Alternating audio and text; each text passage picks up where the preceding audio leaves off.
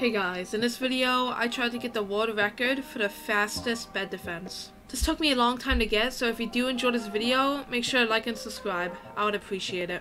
I tried many times to get a fast time, but this was my first fast attempt.